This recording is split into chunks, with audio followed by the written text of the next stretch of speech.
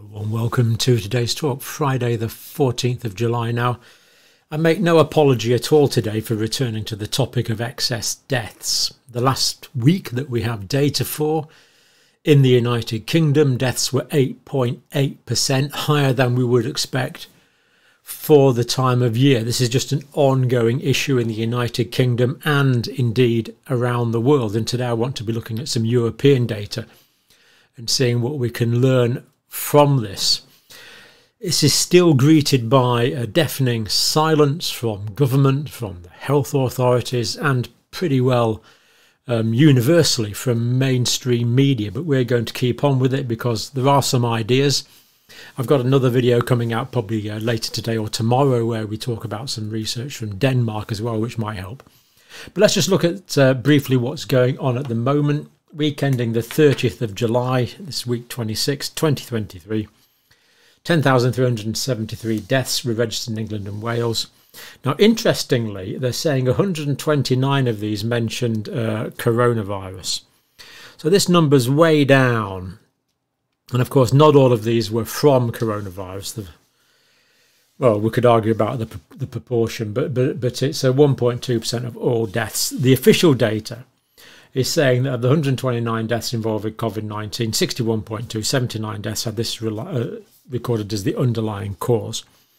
Not always uh, sure about that. I think very often it's so wrapped up with comorbidities and old age, it's really quite difficult, in fact, pretty well impossible to tell. It's a rather subjective medical opinion.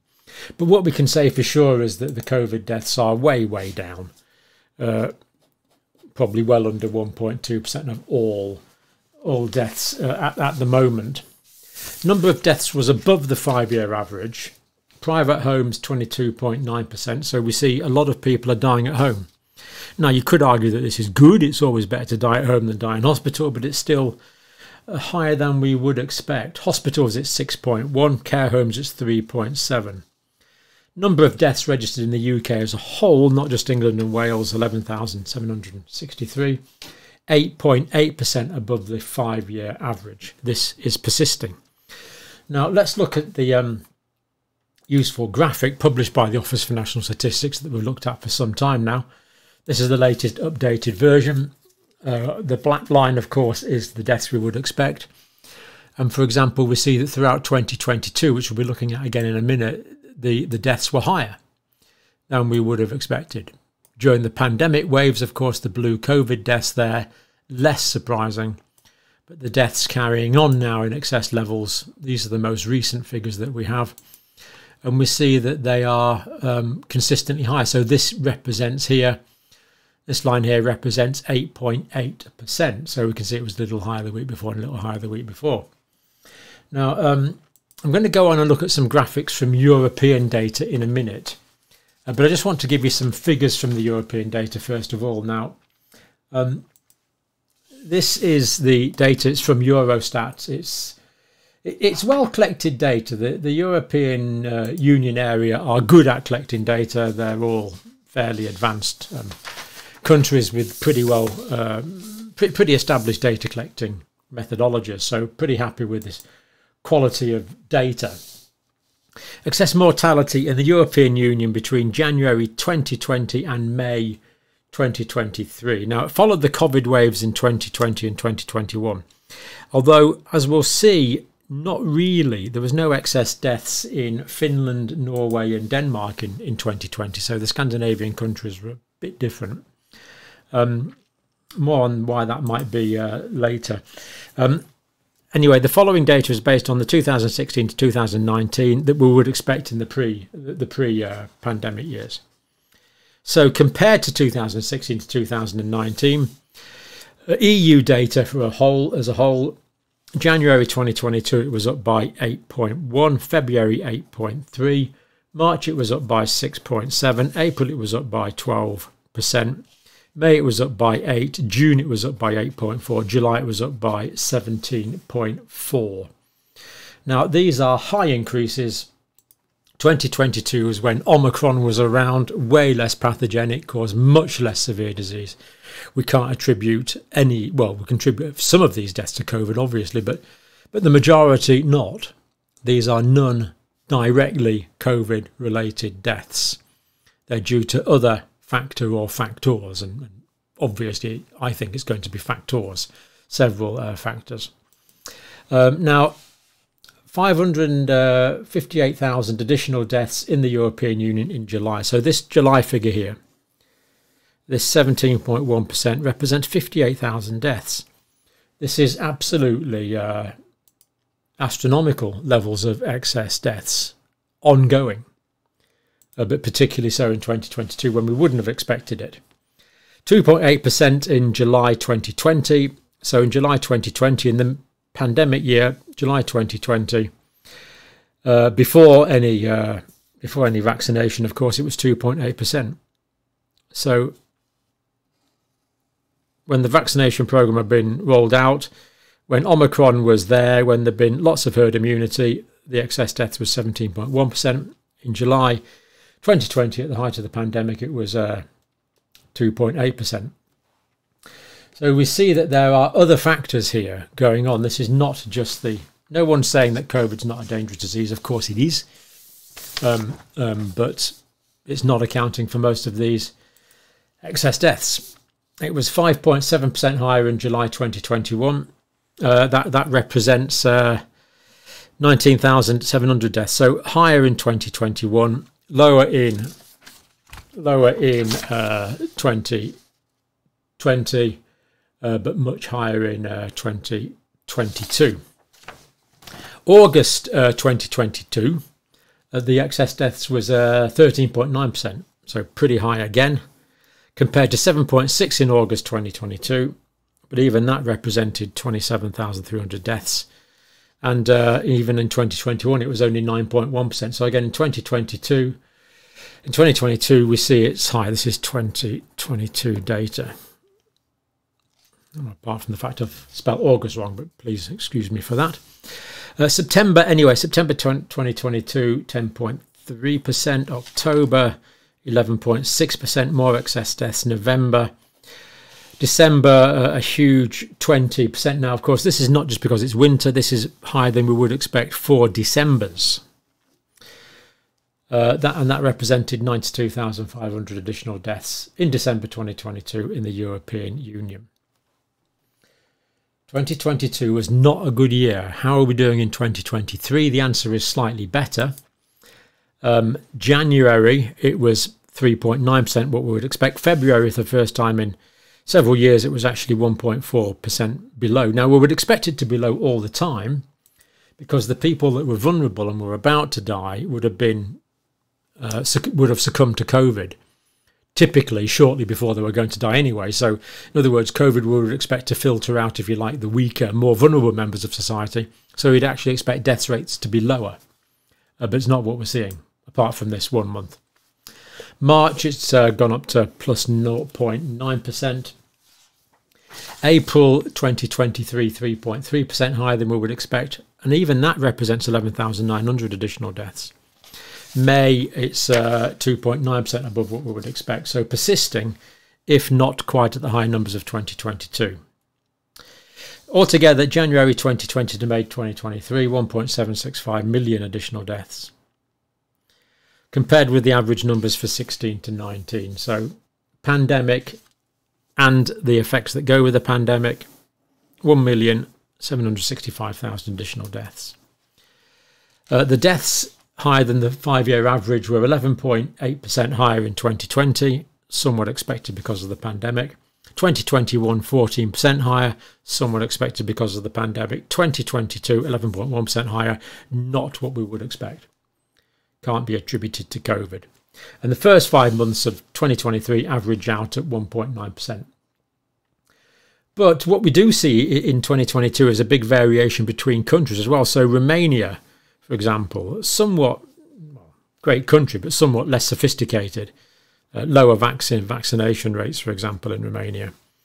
3.4% um, additional deaths in 2022. Sweden, with a completely different set of policies as regards lockdown, 3.9% deaths higher than you would expect in 2022. Uh, Hungary, again, somewhat um, less advanced in some ways, 5.2%. But Cyprus, Malta, and Finland all very high excess deaths in 2022. So a, a fair variation between countries. That that's true. Quite a big variation between countries. We need to look at those factors and see how that's explained. In the first five months of uh, 2023, uh, excess deaths in Bulgaria are down. Good. Excess deaths in Romania are down. The Baltic, Lithuania, excess deaths are down. Less, quite a bit less than we would expect. This is what we'd expect everywhere. But in Ireland, excess deaths for 2023 are 10.2% above what we would expect. Netherlands 9.5 and Austria 9.3% above what we would expect. So we are seeing um, excess deaths in quite a few countries, much higher than we would expect. Lower only in a few countries, and where it's lower is more the Eastern European uh, countries. Now, let me just show you a few more graphics that illustrate that. Uh, this is uh, Belgium.